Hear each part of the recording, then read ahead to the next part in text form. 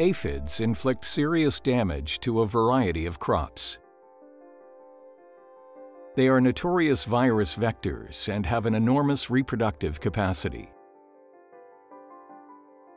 There are lots of different colored species and they occur in all kinds of crops. Nymphs and adults extract food materials from the plant and disturb the balance of the plant's growth hormones. It can result in deformed leaves or even the death of young plants. Aphids secrete honeydew, which is a nutrient source for sooty molds.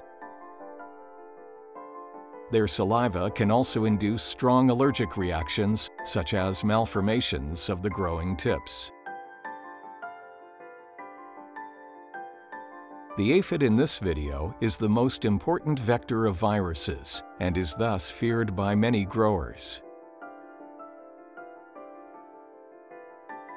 When reproduction is asexual, the young aphids are born as developed nymphs.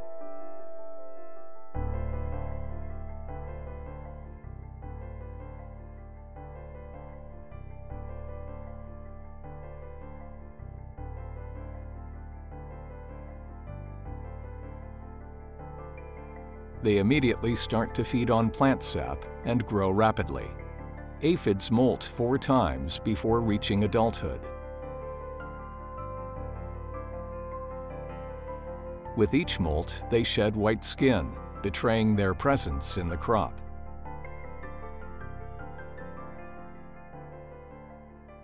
Adult aphids can have different appearances.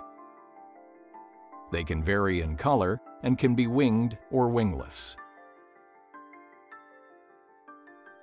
The most effective method to control aphids depends on species, crop, and climate. Check out our YouTube channel and website for more information on agricultural pests.